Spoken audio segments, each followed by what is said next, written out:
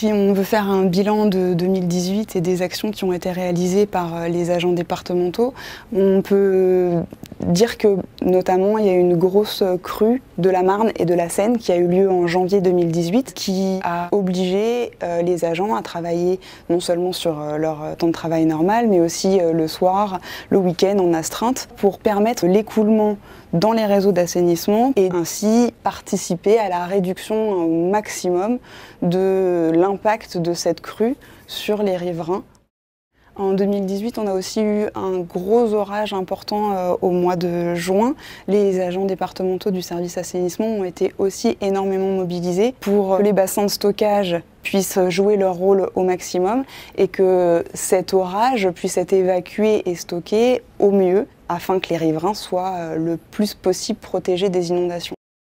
Tout au long de l'année, euh, les agents du département et de la DSEA, des services assainissement, sont mobilisés sur euh, la maintenance de tous les équipements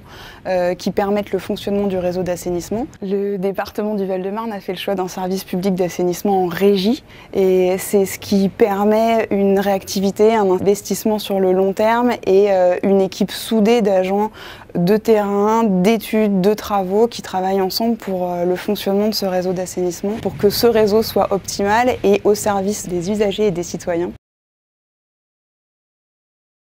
Et c'est grâce à la mobilisation euh, de tous pour le maintien du département que ce service va pouvoir continuer d'être rendu de manière euh, utile.